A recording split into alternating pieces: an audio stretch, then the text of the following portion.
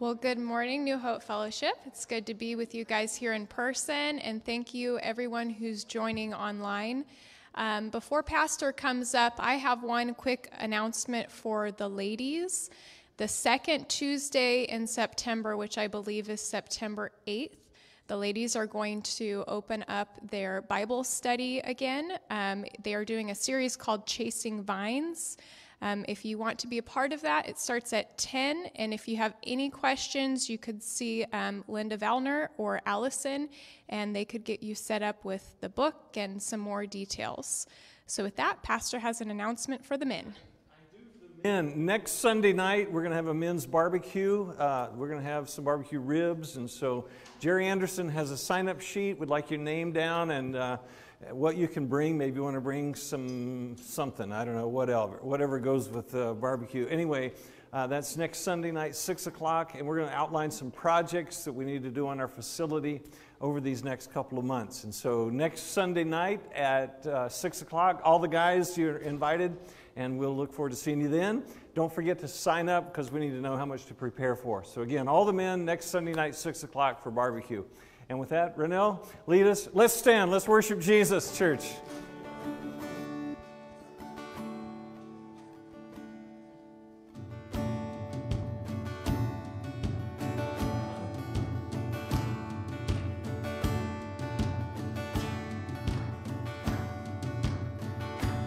You are good, you are good when there's nothing good in me. You are love, display for all to see. You are light, you are light when the darkness closes in. You are hope, you are hope. You have covered all my sin.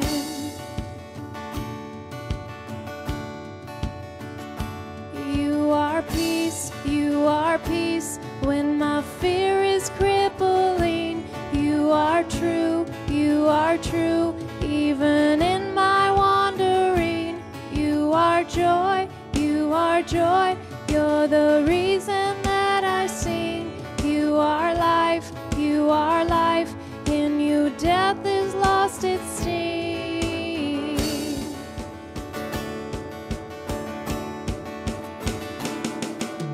Oh, I'm running to your arms. Your arms. The riches of your love will always be enough. Nothing compares to your embrace. Light of the world,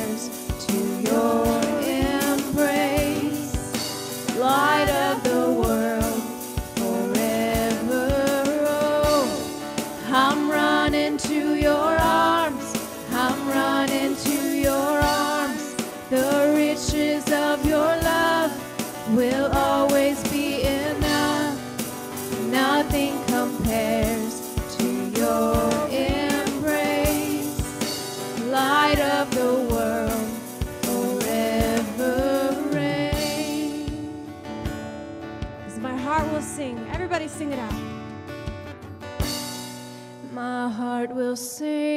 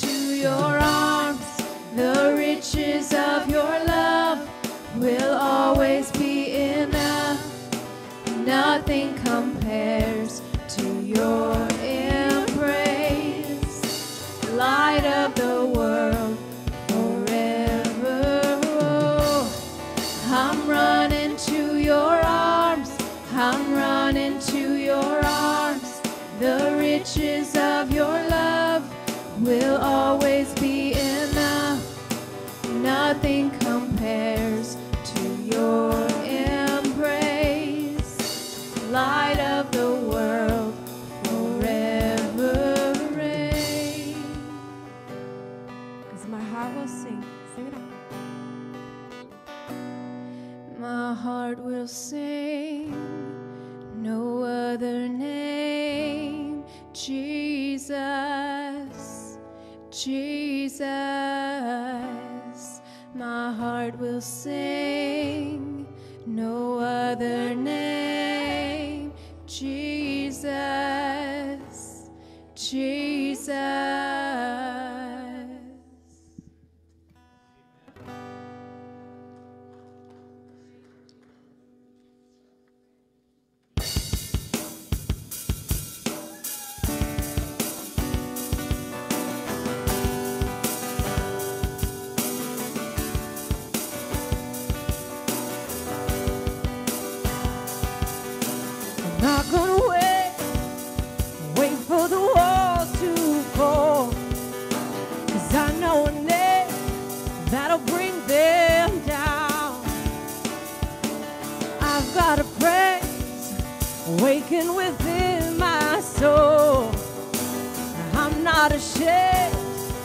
now. Light of the world, trample the darkness. Nothing can stop it. You are the God of the promise. Every word will be accomplished. Nothing can stop it. You are the God of the promise.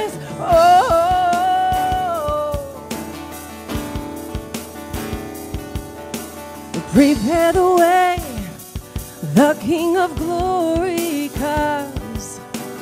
Before his name, every fear must bow. Throw off your chains, Jesus destroyed them all. Up from the chain, he is with us now. Light of the world, trample the darkness. Nothing can stop it. You are the God of the promise. Every word will be accomplished. Nothing can stop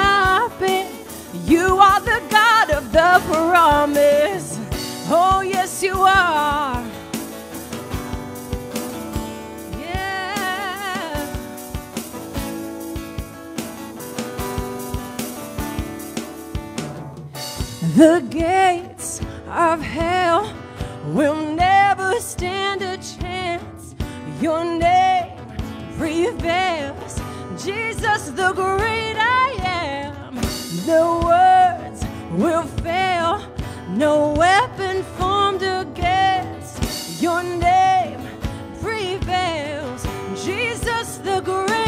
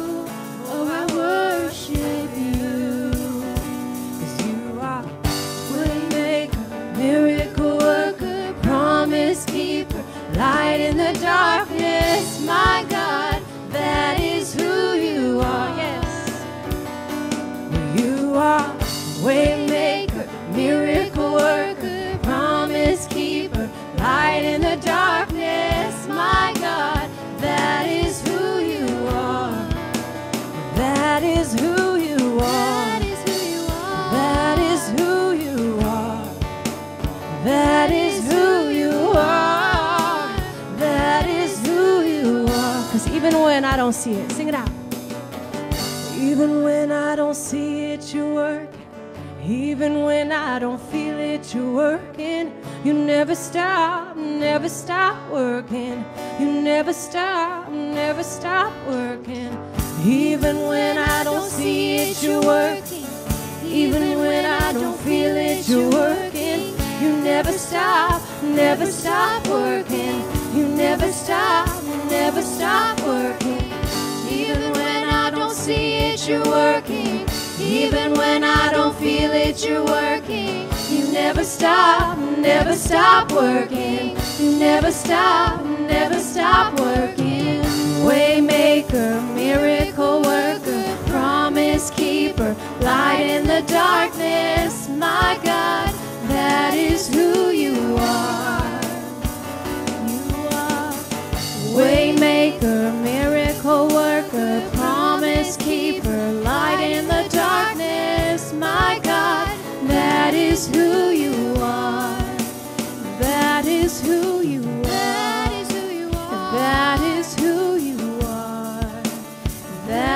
who you are. That is who you are. That is who you are. Oh, it's who you are. Oh, Jesus. Oh, it's who you are. You are, Lord. Lord, we thank you this morning the way you watch over us, way you care for us, the way that you lead and guide us through other people, through your word, by the Holy Spirit, by so many ways, Lord. You tenderly and lovingly have your hand on every one of us, and we thank you so much for that. We pray this morning for Dave Wesson pastor that preceded me here and pray for him as he undergoes treatment for cancer. And Jesus, we pray you lift him up, draw his heart close to you, and give him your peace and healing. And for that, we thank you, God. Thank you for protecting our son James this week as an auto accident in England. And thank you that your hand has been on him and continue to uh, just lift him, Lord, and uh, bring healing to his back and neck areas, God. Thank you for your grace there.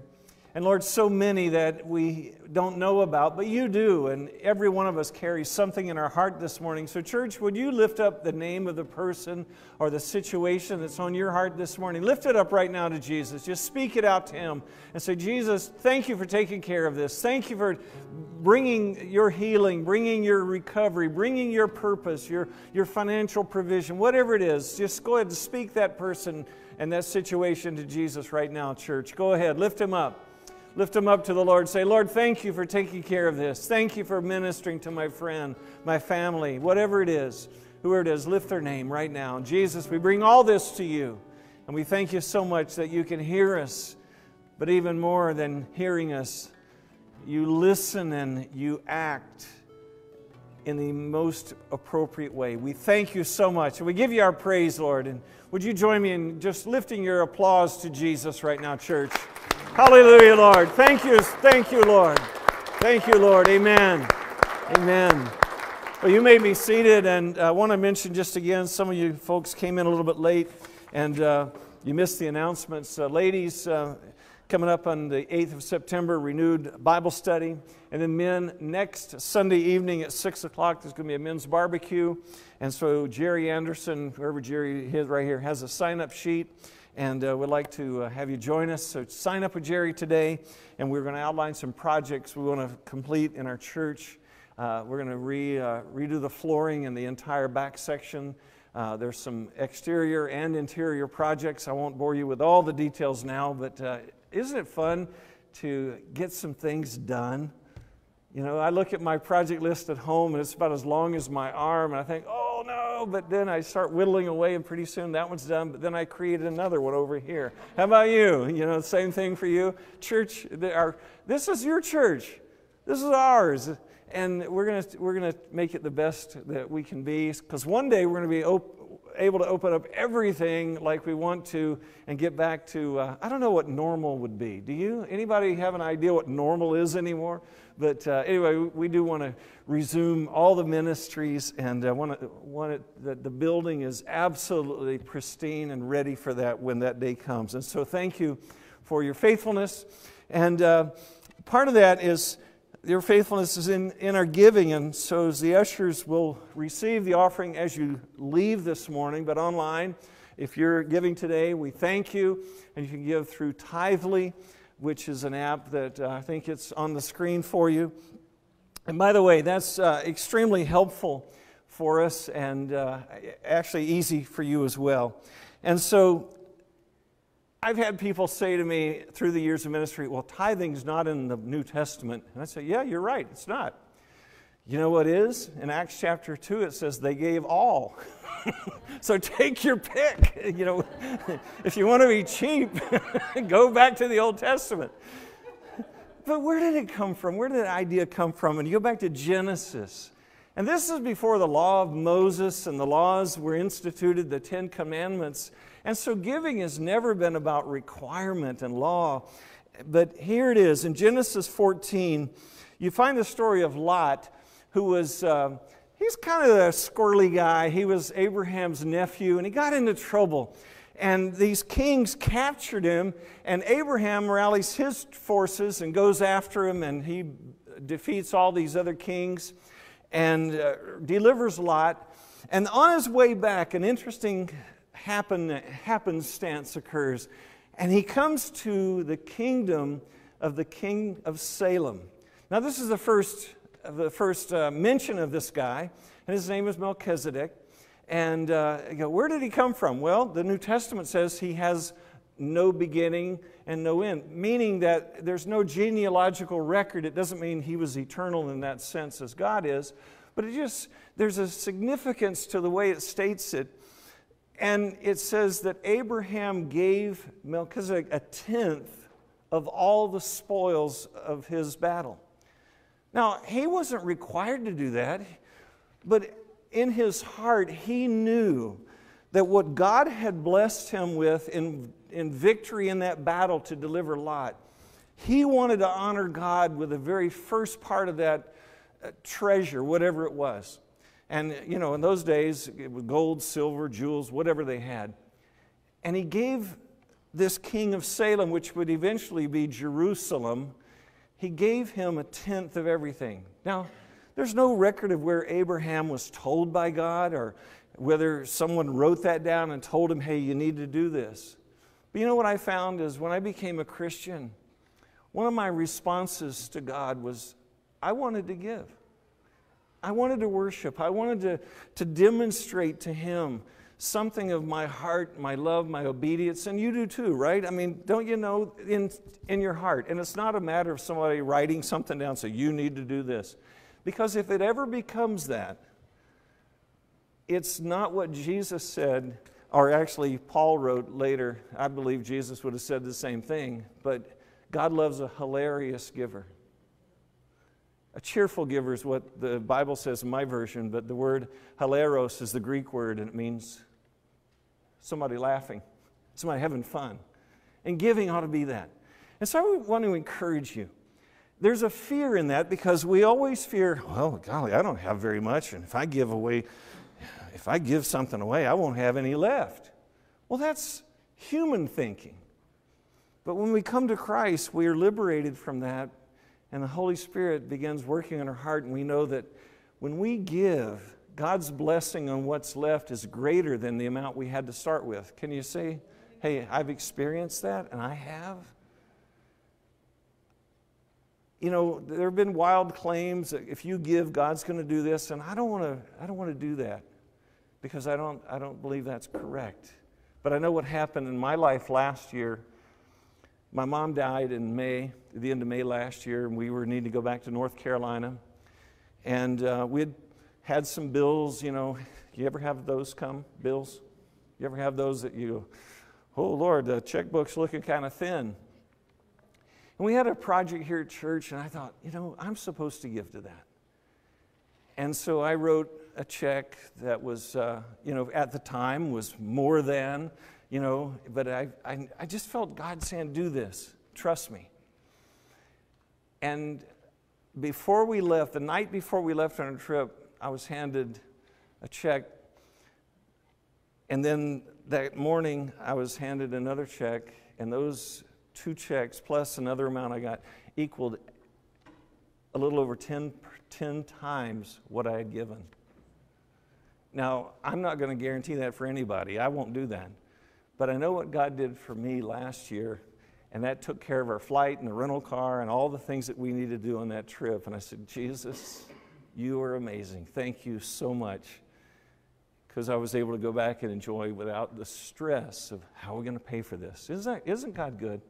So I want to encourage you today do what Abraham did. Whatever battle you're facing, whatever it is, say, hey, God, I'm going to carve out your part. And I want to trust you and live in that realm of trust. So, Jesus, I pray for this church, this congregation.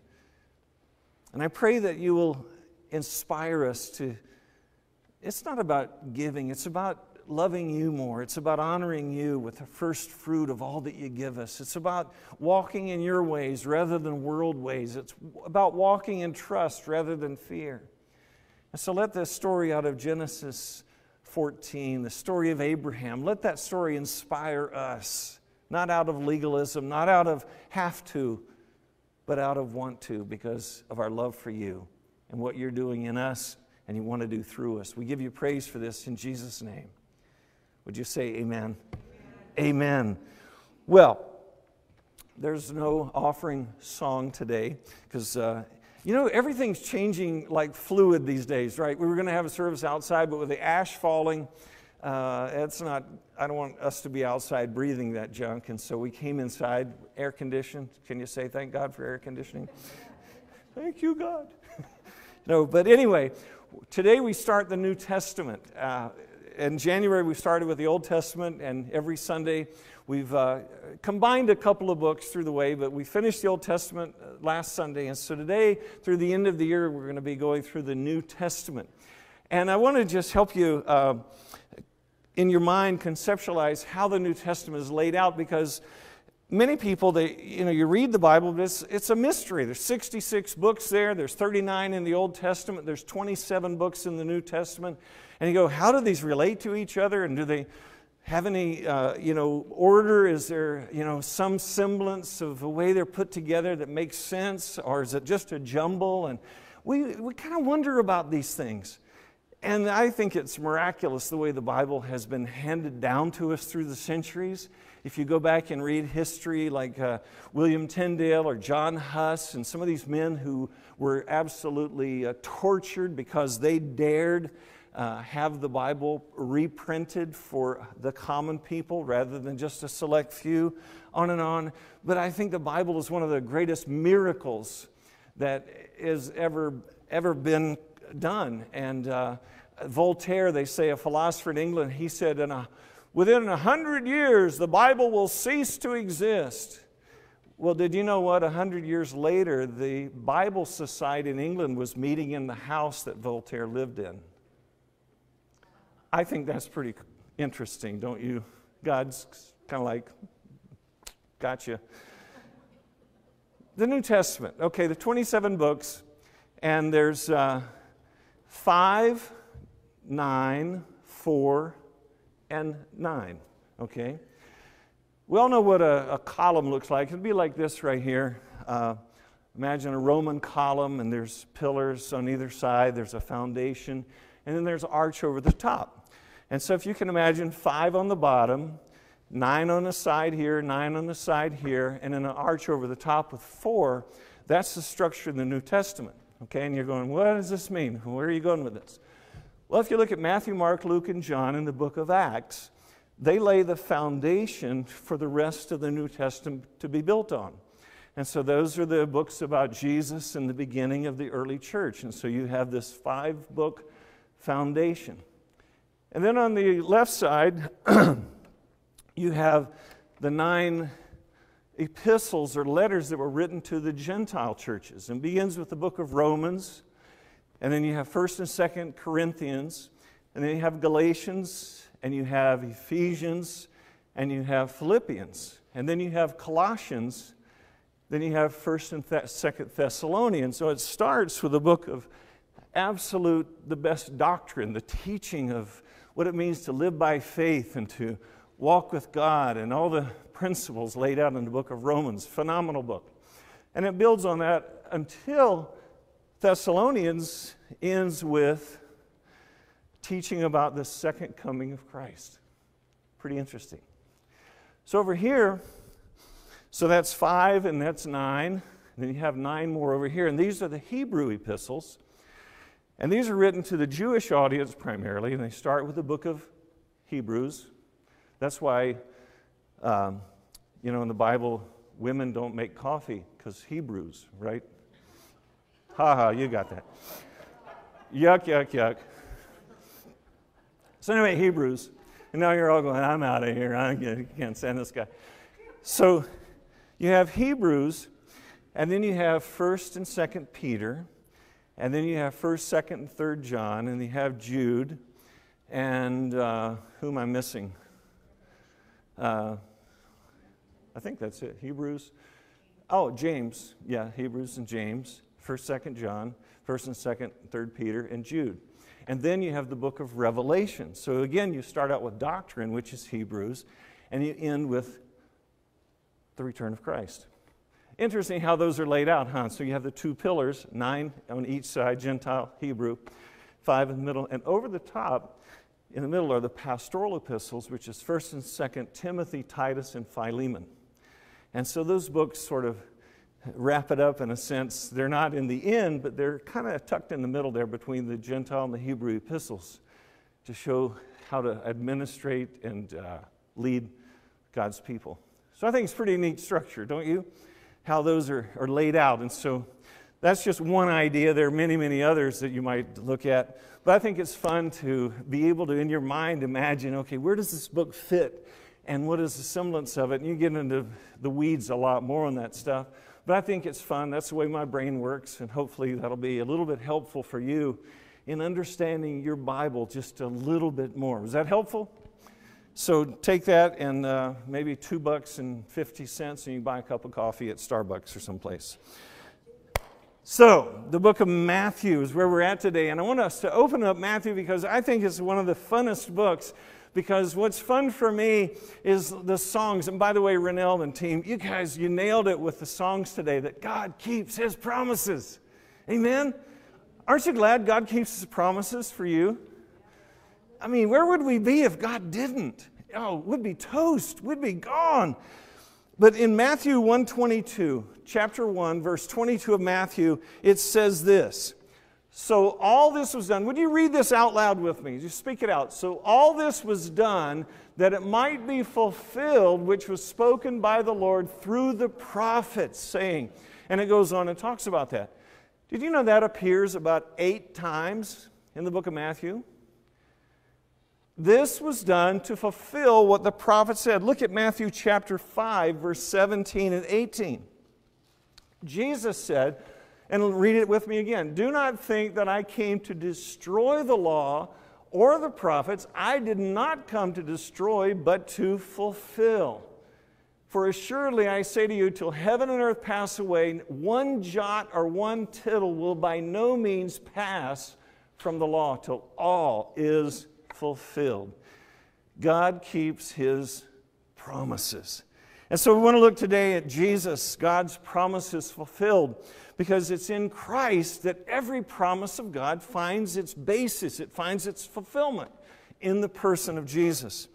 And so, a question you might have asked in the recent days is Does anyone keep promises anymore?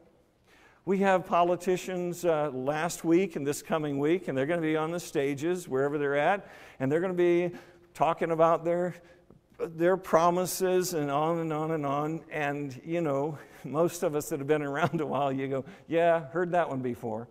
Because we're used to it. They announce they're going to do great and mighty things, but we know it doesn't usually take place. And so we're sort of numb to that, if you will. And so we get in businesses and have uh, things happen in business where we're dealing with people, and now uh, we all sign contracts, don't we? We sign agreements because if somebody breaks it, then you can uh, have a recourse because people don't keep all the promises. But God does. He does. We're going to look at that this morning through the book of Matthew. And so I hope that in Christ you've learned that, hey, keeping a promise is vital. And I thank God for my father, who now is with Jesus. But I was looking back and say, you know, my dad never broke a promise to me. Never. I don't remember a time when he told me something and didn't fulfill it. And I think that's a wonderful tribute to my dad. Thank God for him. And I hope that's true of me with my kids. How about you, dads? How about you, moms? How about you, husbands? How about you, wives? Because we depend on each other. We need to be able to trust. A promise is a declaration assuring that a person will or will not do something. It's a vow, something promised. It's an indication of something favorable to, to come, an expectation. But unfortunately, become, we've become very accustomed to promises being broken. I want to assure you this morning that God never breaks a promise. In 2 Corinthians chapter 1 verse 20, the Bible says this. If we could look at 2 Corinthians 1:20, it says, For all the promises of God in him are yes, and in him amen to the glory of God through us. Let me read it again. 2 Corinthians 1:20. For all the promises of God in him, meaning Jesus, are yes, and in him amen to the glory of God through us. What does that mean? It means that every promise in the Bible, from Genesis to Revelation, finds its basis and fulfillment in Jesus Christ. Every one of them. And that's a big promise. I mean, that's a big statement because you go, whoa, whoa, whoa wait a minute. How do you? Well, that's what 2 Corinthians 1, verse 20 tells us that every promise of God finds its basis and fulfillment in Jesus. So, how can we know the Bible is God's Word? How can we put trust in it? Or is it just another book of man made writings? There have been documentaries on TV in the last few years that, that discount the Bible's authenticity. There have been people, and if you go on the internet and read things, which we all do from time to time, you say, Well, on the internet, I read that the Bible is just a collection of writings of men and has, you know, and it goes on and discounts Scripture.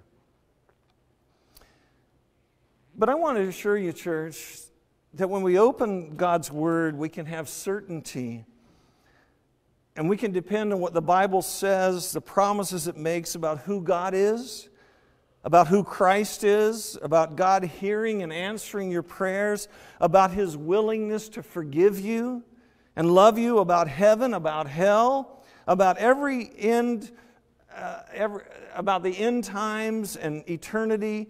And how can we be sure? Here's a couple of verses that substantiate it for me. I hope it will for you. Isaiah chapter 40, verse 8 says this The grass withers, the flower fades, but the word of our God shall stand forever. The grass withers, the flower fades, but the word of our God shall stand forever. 2 Peter chapter 1 verse 19. Peter's writing in verse 19 he says, "And so we have the prophetic word confirmed. which you do well to heed as a light that shines in a dark place until the day dawns and the morning star rises in your hearts, knowing this first, that no prophecy of Scripture is of any private interpretation, for prophecy never came by the will of man, but holy men of God spoke as they were moved by the Holy Spirit. Holy men of old spoke as they were moved by the Holy Spirit. What does that mean? there's a term called verbal plenary. And verbal plenary is, is the way that we believe the Bible was given. And that means God gave the word, that's the verbal. And plenary has to do with how it was interpreted by Moses, by uh, David, by King Solomon, by Matthew, by Mark, by Luke, by John, Acts, uh, not Acts, but uh, uh Luke, and then Paul and Peter and James and John and so forth. How did all these people write, it's by the inspiration of God. By the inspiration of God, God gave them, they used their own language, they used their own writing style to communicate and put it down, but God gave it to them. It wasn't because one day they woke up and said, Oh, I think I'll write the Bible. I mean, we have people that have said that. You know, there's some that had visions out by a tree and they wrote down, and some religions are formed by people coming up with some really weird claims about some angel speaking to them and giving them this. But the Bible's different. And out of the 40 authors who wrote over a period of 1,500 years, there's continuity. Continuity. There is no disagreement it's an amazing book. It's the promise of God. And so we have these promises that we can, first of all, we can build our lives on. Let me ask you, what are you building your life on? What are people around us today building lives on? Well, we've seen the world come to a screeching halt over these past several months. Normal activity, as we would think of it, has changed so dramatically. It does almost on a daily basis. We want to do this, but now we can't, and so forth and so on. And so, a lot of the structure, a lot of the things we depended on have been sort of pushed aside. Have you noticed that?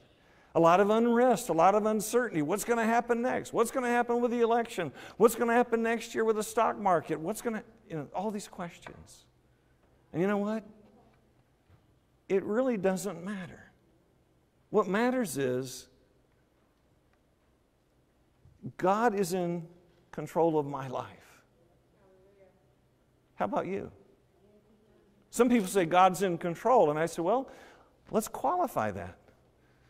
If a person's heart is not surrendered to God, is God in control of them? Not until they surrender their heart to Him. I want God to be in control of my life. How about you? And I want Him to be in control of my life every day because I know when He's in control, I'm not. And in my life, I've made enough mistakes to where I say, God, I need you to be in control of me. How about you? Anybody raise your hand and say, Amen, Pastor? I want God to be in control of me. I want Him to be in control of my family. I want to be in control of my kids. This week, our son James is in England. He's in the Air Force, and he and a friend were coming back from an event and uh, about an hour and a half ride in the car. And uh, they're about a, oh, about a mile from where he lives in a little town called, it wouldn't matter the name, Isleham, but you never heard of it, but a little bitty village. And all of a sudden, this car comes out of nowhere and just rams in the side of their car. And he takes off. And so my son was the passenger. His, his friend, whose car it was, he tries to go after and catch the guy, get the license plate. And the guy slams on brakes in front of them, and so they had to stop. And the guy had a friend who came up behind and rammed them in the rear end. And then the guy in front of him backed up into the front end several times. And the guy in the rear, rear back, or uh, hit them several times in the rear end, and then they hit him in the side again, and then they both took off and disappeared just destroyed the guy's cars, a BMW M2, if that matters to you. They're nice cars. That car is just shambles. And think, where did that come from? What's going on? And you think, why? Just mayhem. But he's okay, and his friend's okay. I mean, he's lost his car, but you know. But I think, God, thank you for having your hand on my kid's life. Amen? Amen?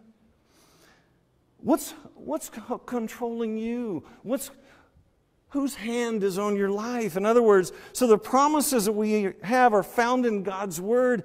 And it says in first or second Peter 1:19, we have a sure word of prophecy, a, a word that is valid, a word that is alive, a word that is going to last for eternity.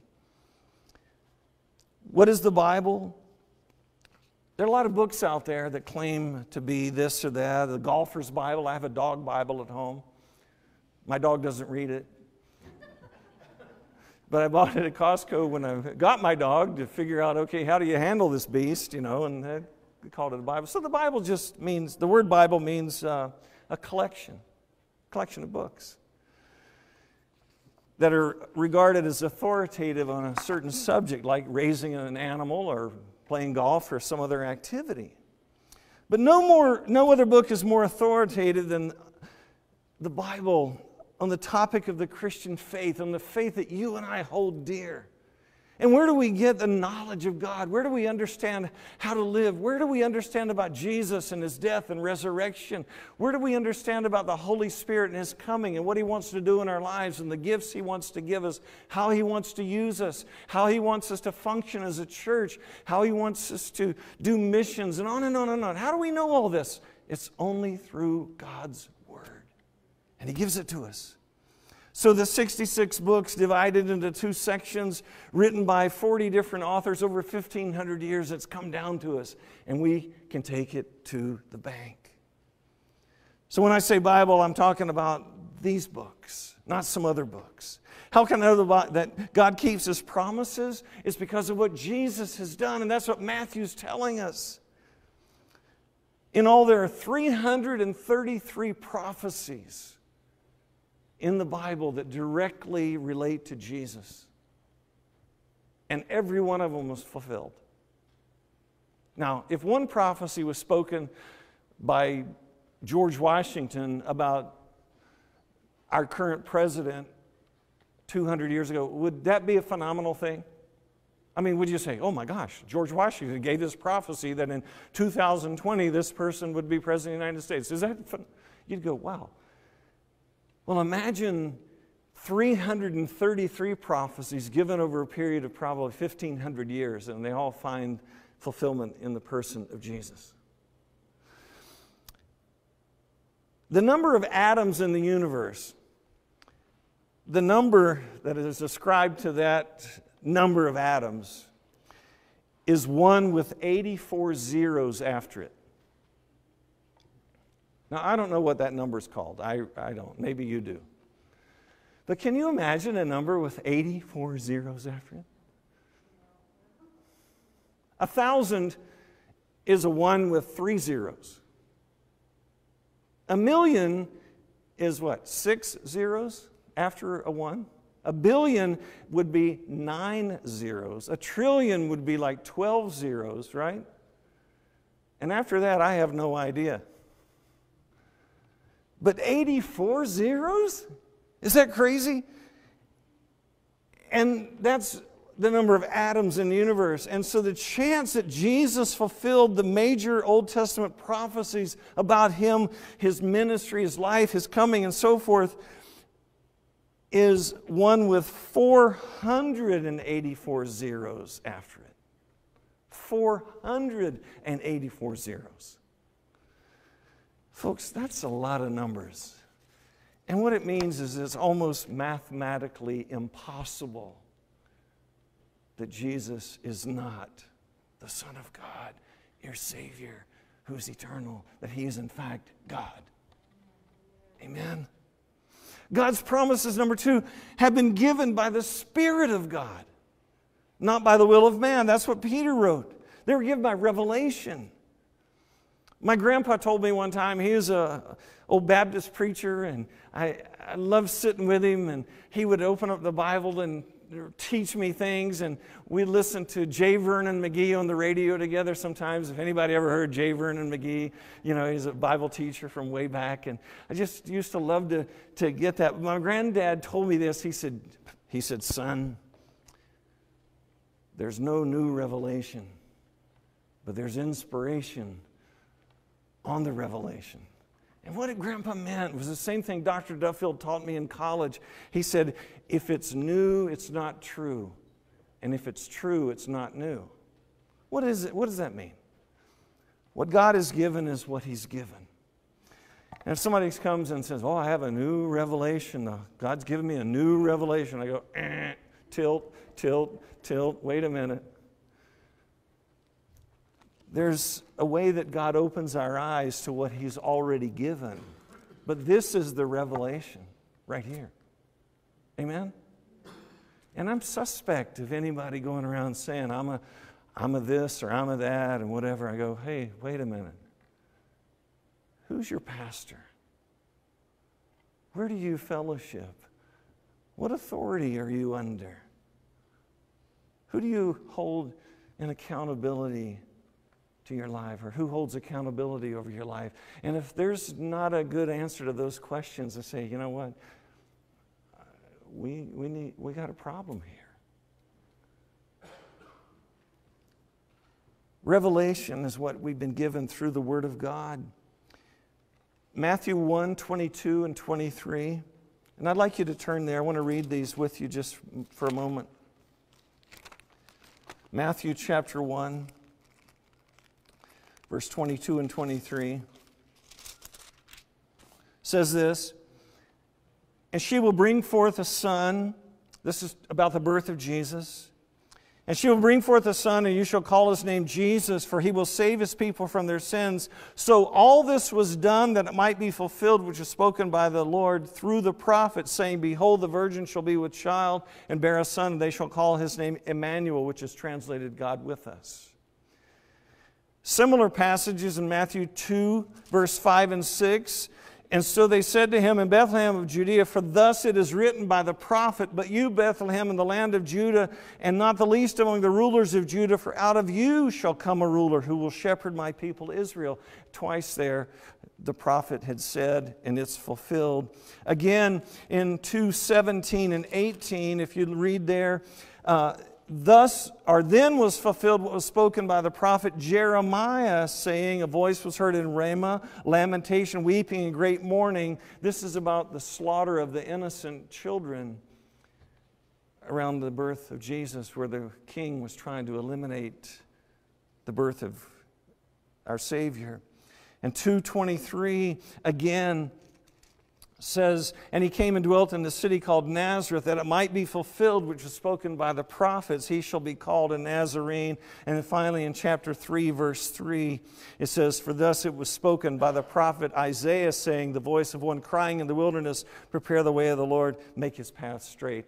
And there are others. But can you see how God has woven in the story through Matthew?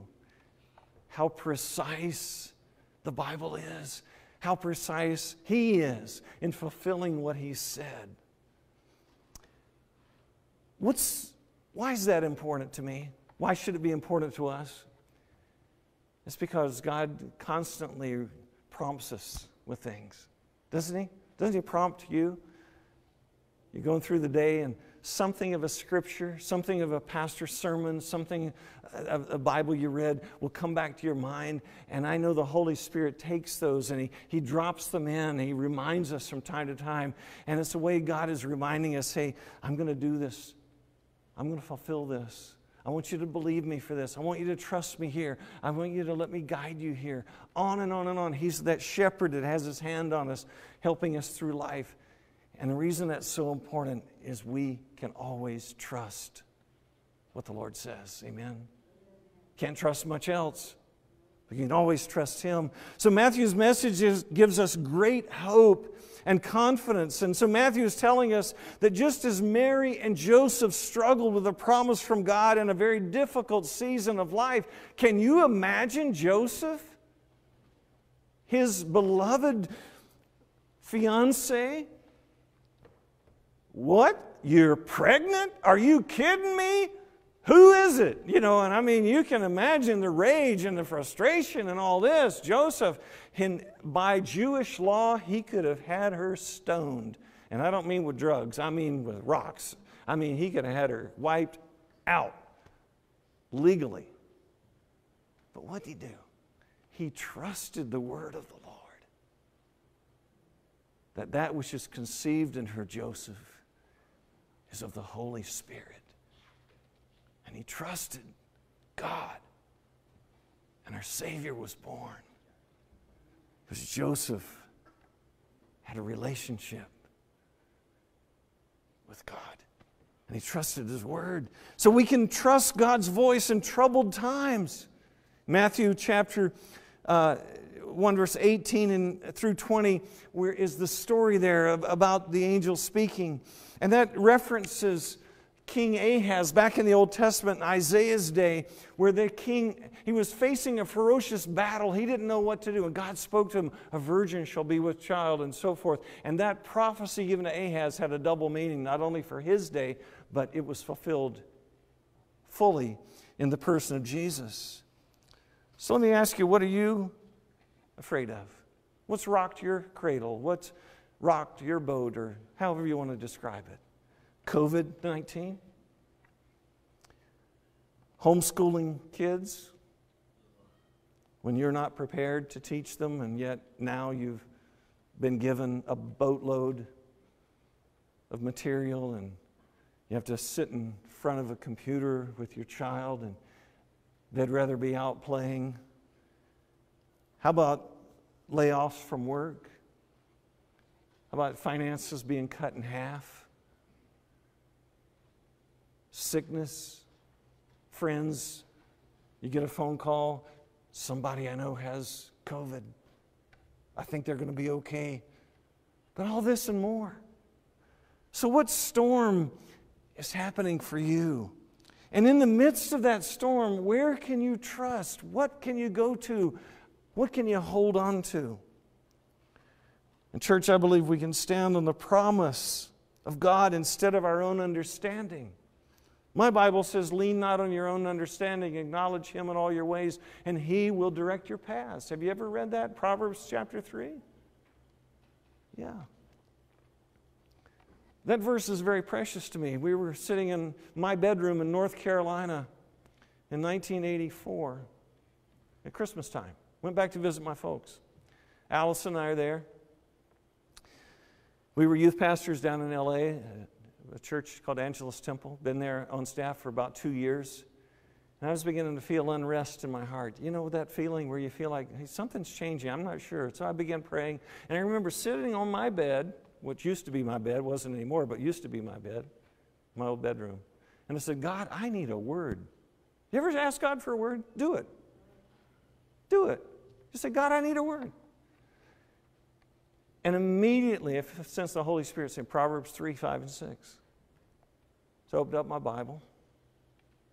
Trust in the Lord with all your heart. Do not lean on your own, own understanding. Acknowledge Him in all your ways, and He will direct your paths. I said, Okay, thank you, God. Six months later, we were renting a U Haul and coming to Shingle Springs. I didn't know that was going to happen. God did. But I knew something was going to happen, but I didn't know what. I didn't know what to do. And that gave me the ability to trust over the next couple months as things begin to shift and change.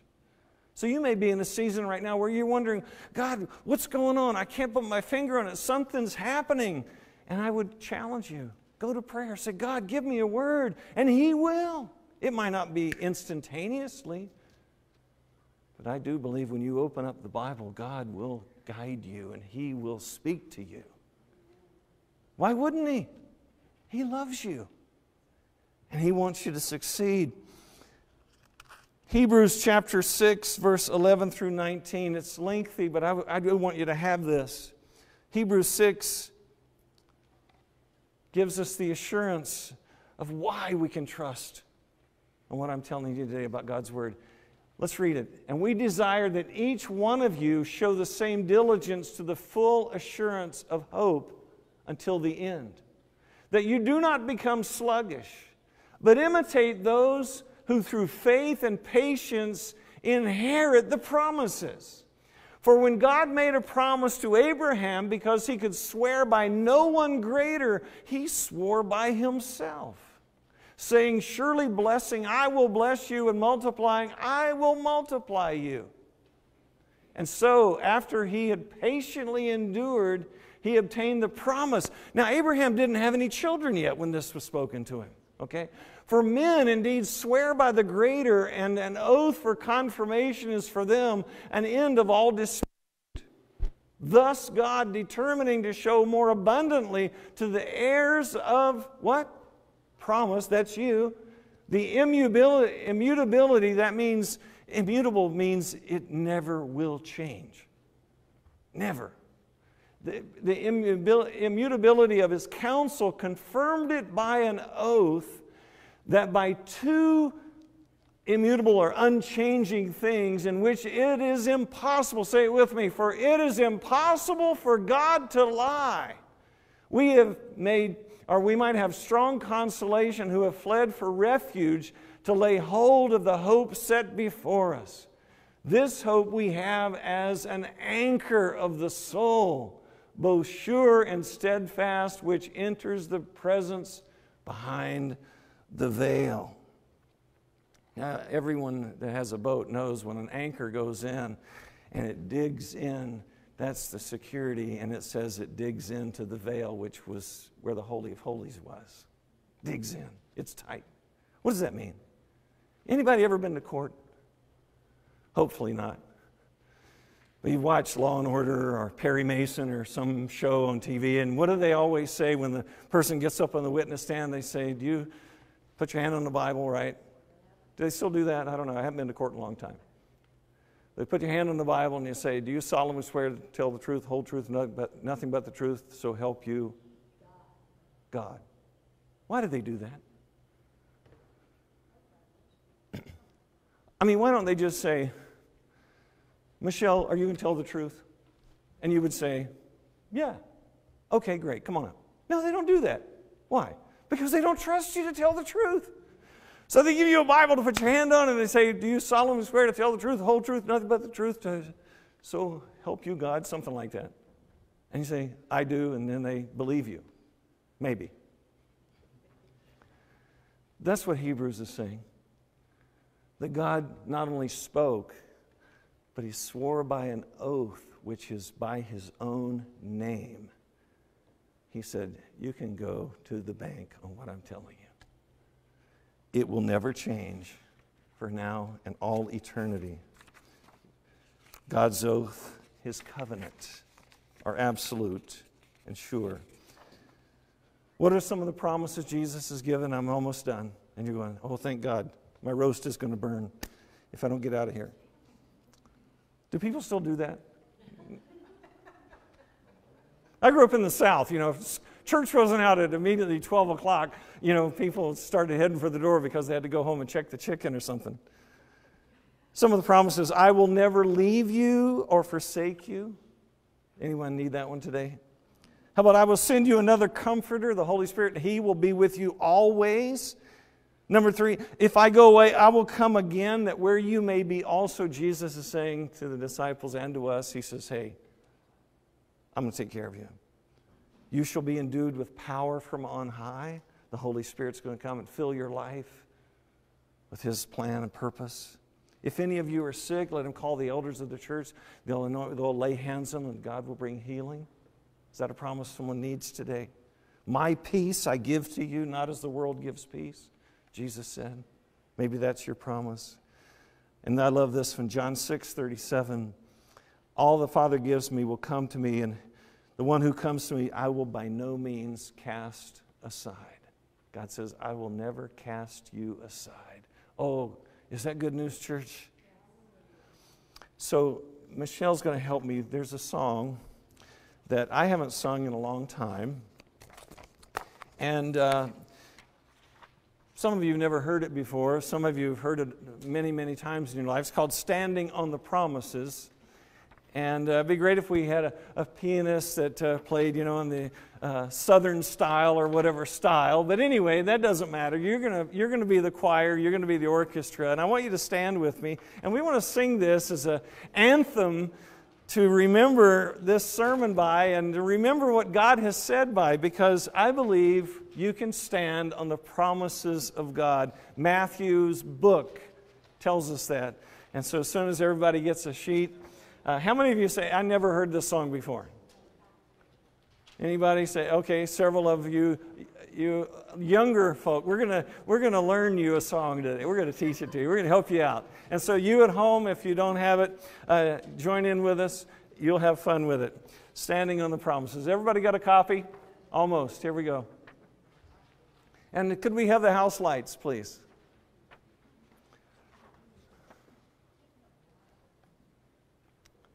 Here we go. Now you can see. More. There you go. Perfect. Okay. All right. Here we go. Everybody ready? Standing on the promises of Christ my King, through eternal ages let his praises ring. Glory in the highest I will shout and sing, standing on the promises of God. Standing, standing, Standing on the promises of God, my Savior, standing, standing.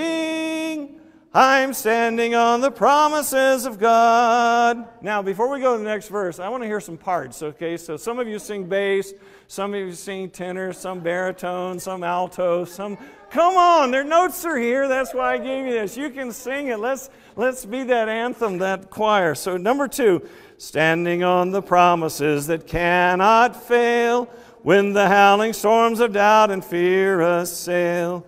By the living word of God I shall prevail, standing on the promises of God. Standing, standing, standing on the promises of God, my Savior. Standing, standing. I'm standing on the promises of God. Verse 3 Standing on the promises of Christ the Lord, bound to Him eternally by love's strong cord, overcoming daily with the Spirit's sword, standing on the promises of God. Standing, standing Standing on the promises of God, my Savior, standing, standing.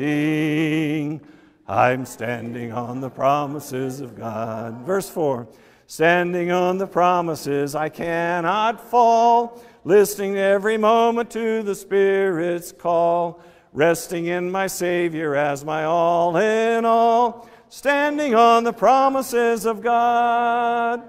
Standing, standing, standing on the promises of God, my Savior. Standing, standing. I'm standing on the promises of God. There you go. Give yourselves a hand. You did great. Isn't it a fun song? Well, it's an oldie but a goodie, and I hope it inspires you to trust the promises of God. Let me pray for you. Jesus, as we bow our hearts and our heads and just lift up our hands to you, we love you so much. We thank you for your word that never, never, never, never fails. Thank you that your promises are certain, even more certain than the sun rising every morning, even more certain than the moon at night. No promise on earth will ever compare to you and what you've spoken to us.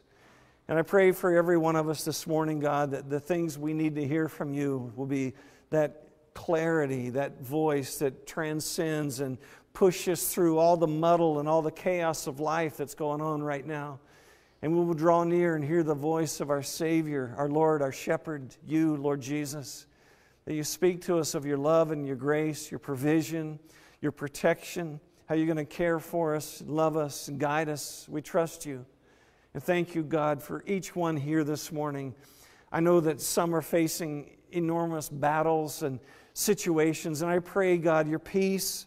I pray your blessing. I pray your provision for every family, every person here. And whatever situation there is that's causing sleeplessness or unrest, bring your peace now, we ask in the name of Jesus. Bring your clarity to those situations where there's confusion. Lord, cut through the chatter and, and speak a clear word to each and every one of us about your direction, your guidance for our lives as we trust you and live for you. I thank you for these men, for these women, for these young people. And I pray your greatest blessing on them in this day, on this day, and in this season ahead. And for that, we give you thanks and praise. In the name of Jesus, we pray. Amen. Amen. Amen. Amen. God bless you, church. If you need prayer for any reason, we have a prayer team that will stay and pray for you. Otherwise, God bless you. We'll see you next Sunday. Men, don't forget to sign up. Jerry Anderson has the sign up sheet. Please see him before you leave. God bless you.